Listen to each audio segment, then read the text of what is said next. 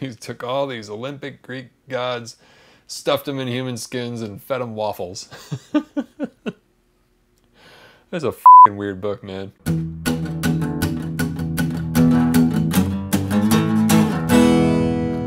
Better than food, man.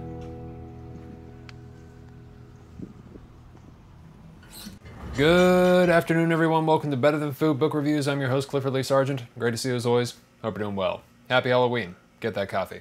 Today I'm drinking a light roast from Heirloom Coffee Roasters out of Oakland, California. The Pacayel Honey Lot Honey Process from La Paz, Honduras. The notes are juicy plum, honey, and orange blossom. What am I getting out of this?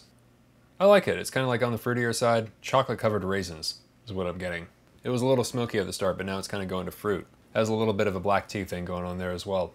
Not sponsored by them, just figured I'd start telling you guys what I'm drinking. In case something sounds good and you can find it at a store nearby. Be cool to drink the same coffee.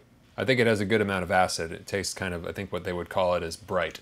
And I love that. Maybe fig or some berries. I thought I'd start off the book reviews with coffee reviews in case you come across some of these. Nice packaging too, eh? Yeah, heirloom coffee. That's that's appropriate for this review. Today, oh god, today. today is Malpertuis, a Belgian Gothic horror novel by the Flemish author Jean Ray, published in 1943. This is another wonderful book from Wakefield Press. I'm sponsored by them in that they sent me this book for free, and thank you very much to them. But in general, I love all their editions. They're typically very quality. They're all marvelously designed. I love the cover on this one. It's this nice glossy gothic photograph with these ghosts turning into smoke or mist. They're using a great printer. Translated by Ian White. Alright, plot wise, this is the most complex gothic novel I have ever read or come across in my whole life. Takes the cake easily. It is a labyrinth, a maze. Jean Ray is just one of the pseudonyms of one of the strangest literary figures I've ever come across. Certainly one of the most entertaining to read about. Let me see if I get this pronunciation correct. Raimundus Johannes de Kramer. Forgive me though, I don't speak Dutch. Other pseudonyms of his include John Flanders, Alex R. Bantam, and Sailor John, as he was in fact at one point, I believe, an actual sailor, and I believe something of a, possibly a pirate. Just listen to this introduction. The man, Many authors have a myth or legend attached to them, which they more or less assiduously cultivate. Some have more of a myth than others, and Jean Ray was one such. Almost at random, one might cite references to a Dakota Indian grandmother, a youth in early manhood serving on tramp steamers in the South Seas, the China Sea, the Gulf of Carpentaria, in the contraband trade, dealing in whatever came to hand, be it illegal mother of pearl or other more unusual goods, hints of the odd bit of piracy, the reputation for being able to tame tarantulas, and for being no stranger to the lion tamer's cage. Involvement in rum row, the offshore trade in liquor during the U.S. Prohibition era, and bearing the scars of gunshot wounds received then. He's a bullshitter, basically. he was kind of a crook, a shady guy. Did a couple years for embezzlement, was sentenced to six but did two. As Hunter S. Thompson said, many fine novels have been written in prison. It just goes to show for those of you out there who have done some time, you can in fact change your role for posterity. Though of course if you're going to prison, depending on how big you are, the changing your posterior role could mean something else entirely. But you can go from scallywag to cherished author if you write something decent, at least if you're Jean Genet. Or at least something exceptionally fucking weird, as we're going to talk about today. This is easily the most bizarre haunted house novel, gothic novel, and story I've ever come across. And that includes the deeply strange, surreal, and outrageous Japanese film Hausu, a real classic if you haven't had the pleasure. So one thing is for certain, right? Pseudonyms, crime, the life of a sailor perhaps. genre is not to be trusted. In this story, it is it is total chaos. He invents quotes from make-believe authors and texts, kind of like Borges. Creates these fictitious authors. Maybe maybe it's similar to like uh, Pessoa's heteronyms. He paraphrases real authors or texts incorrectly. He makes up quotes and attributes them to real authors, or paraphrases an idea that was perhaps theirs, maybe. Even in the book, these characters appear to be one thing, but they are entirely another. Jean Ray loved chaos, tricks, and mystery. And uh, possibly like gambling and shell games as well, is kind of the vibe I'm getting from him. Among many other things, it seems he was actually a detective novelist. And for better or worse, unfortunately the latter in my opinion, this entire book has the vague structure of such. We begin with the events surrounding a young man living in an enormous house, uh, probably in Belgium, maybe Ghent, called Malpertuis, which houses the family of this dying patriarch named Uncle Cassave, played in the film adaptation by none other than Orson Welles. The protagonist is a young fellow named Jean-Jacques Grandsire, or maybe Jean-Jacques Grandsire, or Gigi. Nearly all the other members of this family appear to be textbook displays of the various forms of tragic mental pathology, Cousin Philarette is a taxidermist. There are three dark spinster sisters, a pair of servants, Jean Jacques' sister Nancy, as well as a philandering civil servant named Uncle Dideloo. There's another fellow who is wandering around the house named Lampernisse, who previously worked in the paint shop attached to the house, and now he is a house hermit, dwelling in almost total darkness, fearfully crying out about this uh, shadow, shadowy figure that lurks around the house, following him, putting out lamps, snuffing out all the lamps. He seems to have gone a little funny in the head. Might have been the fumes from the paint shop or something, but anybody's guess. You will never guess, of course, what it actually is. And there does indeed happen to be something uh, following him. Uriel is the foster daughter of Uncle Dideloo and his wife Sylvie, and the love interest of Jean Jacques. She is kind of dark and mysterious and particularly important, as we will see later. She's kind of cold, stony. There are other characters as well, uh, many. There's Doucedame the Younger, who is a priest, as was his father, uh, the Elder. They both have important roles in the narrative. Is your head spinning yet? I mean, mine is. It is an absolute narrative circus. I mean, it is more characters in here, it seems, than Gravity's Rainbow. Anyways, Uncle Cassave is dying. His family is living in this house.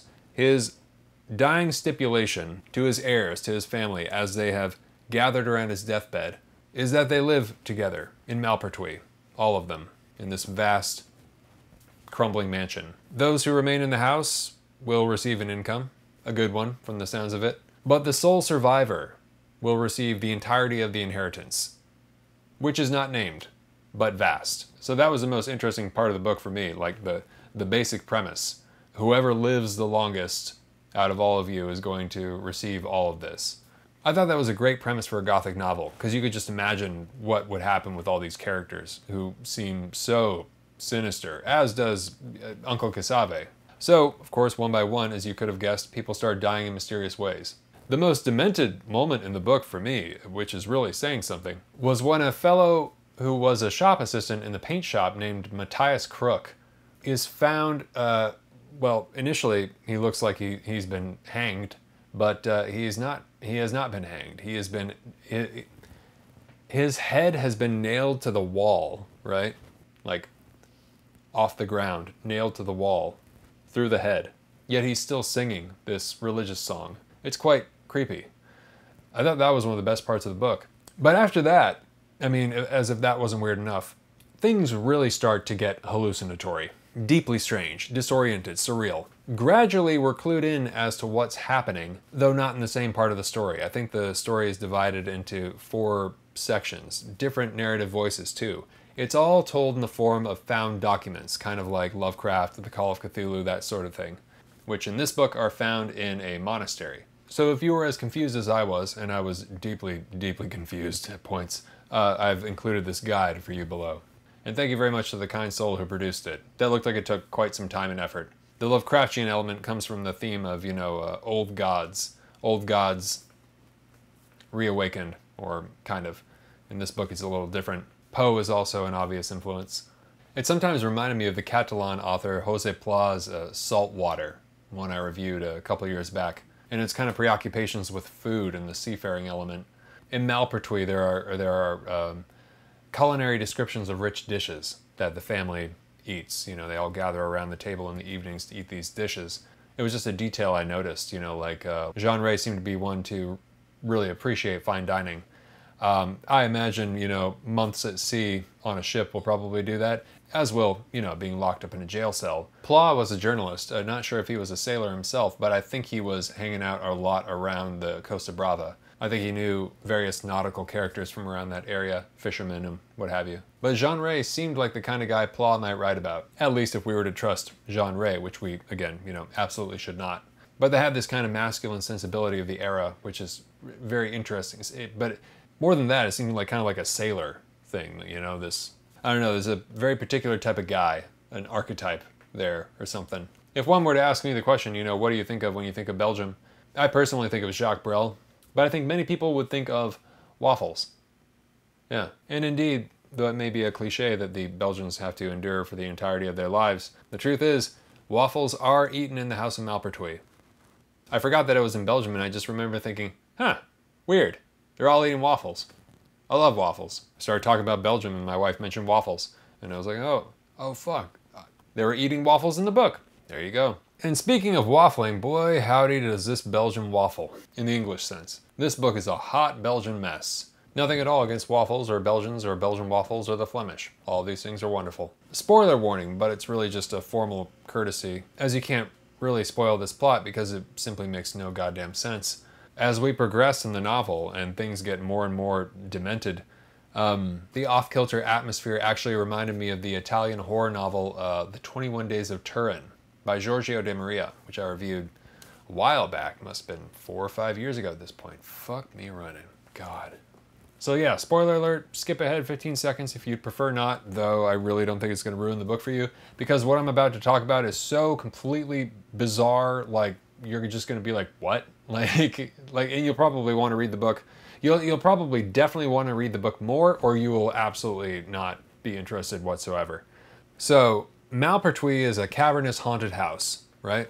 Not haunted by dead souls or ghosts, but by the dying gods of ancient Greece, placed inside human flesh. Cue the Celtic frost.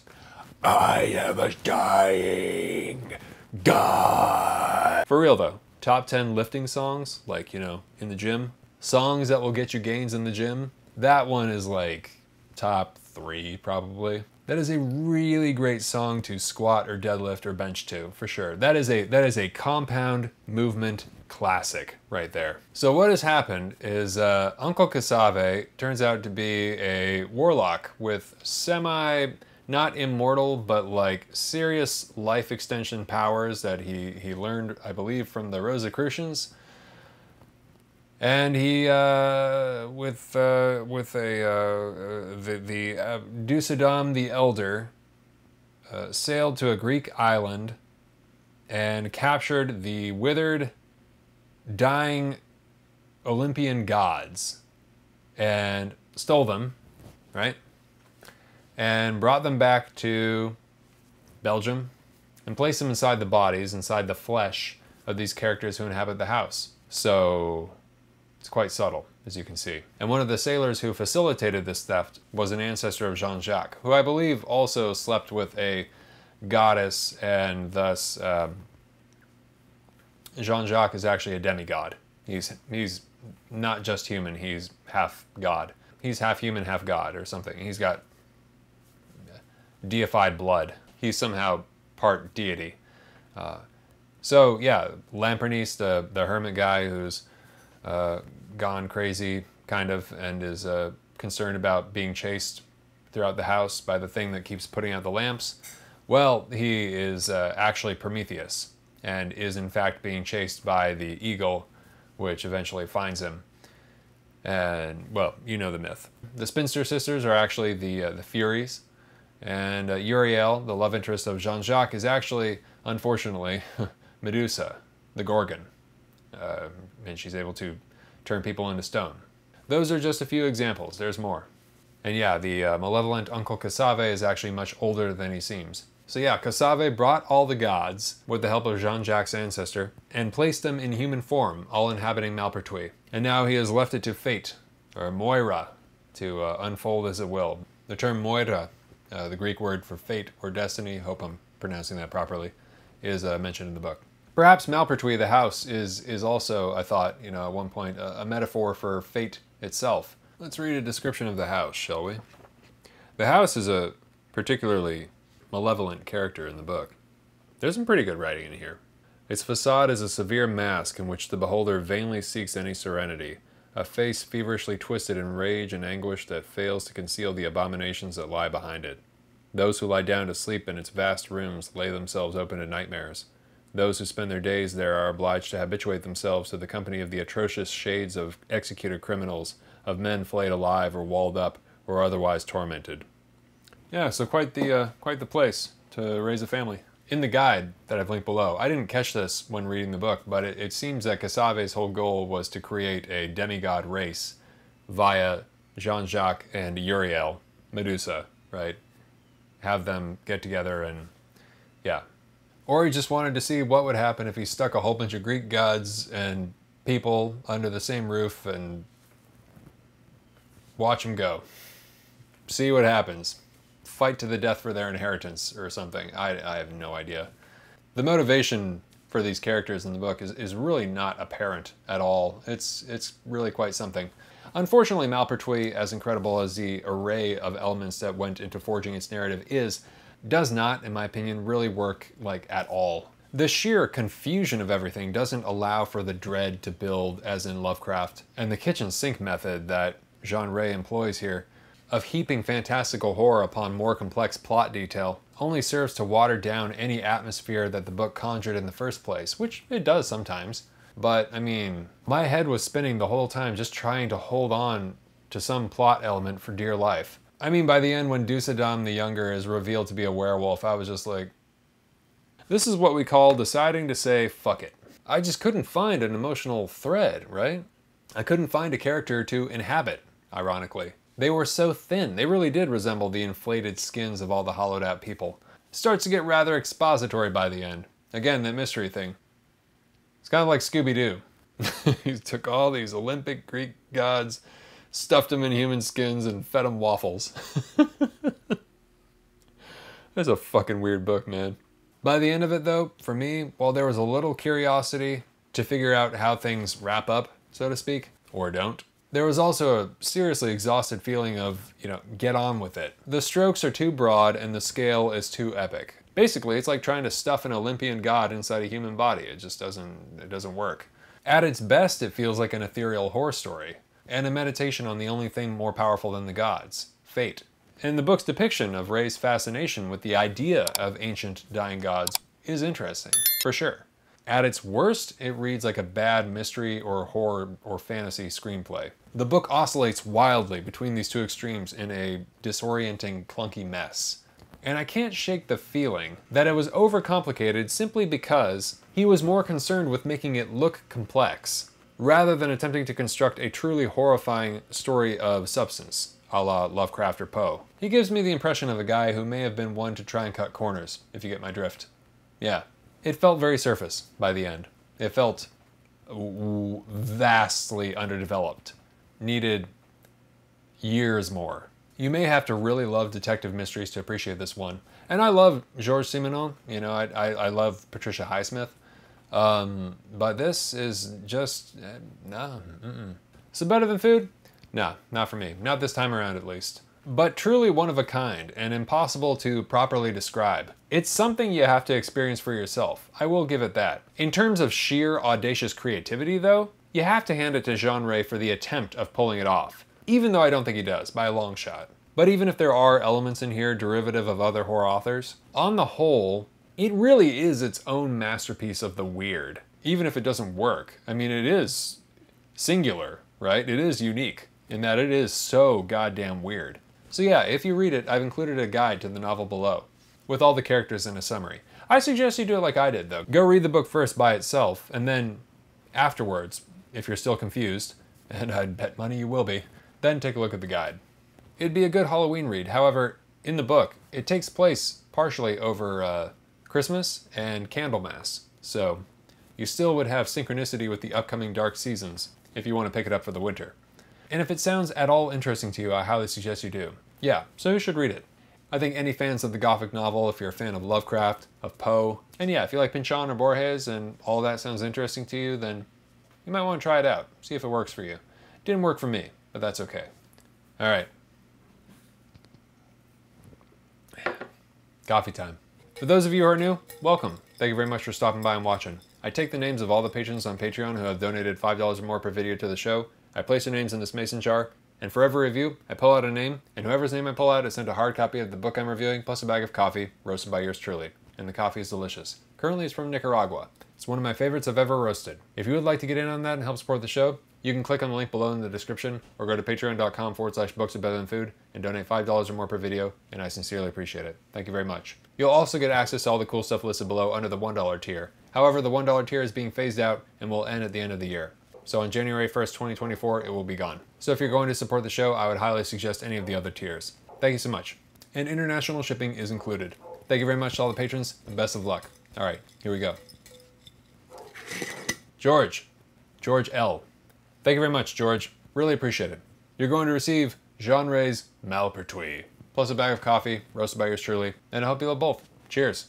Please subscribe if you have not already and hit the thumbs up if you enjoyed this and always remember, die reading. All right. Thanks very much for watching. Take care of yourselves. Have a great night. Happy Halloween. Talk to you soon. Ciao.